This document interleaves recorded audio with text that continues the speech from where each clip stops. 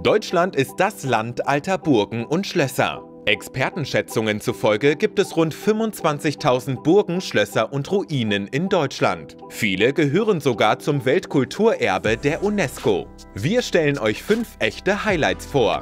Erstens Schloss Neuschwanstein.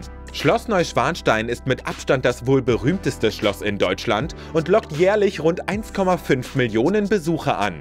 Das Märchenschloss thront auf einem Berg und ist umgeben von dichtem Wald. Schon von weitem sind die verspielten blauen Türmchen und Zinnen zu erspähen. Besonderes Highlight im Inneren eine künstlich erschaffene Tropfsteinhöhle. Zweitens Burg Hohenzollern.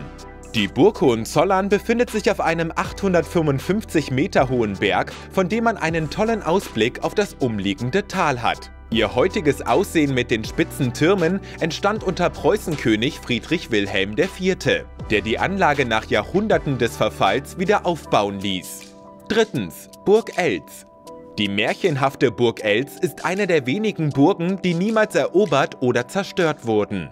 Das Kastell steht auf einer steilen Felskuppe mitten im Elztal und begeistert mit den vielen kleinen Rapunzeltürmchen. Viertens Schloss Moritzburg.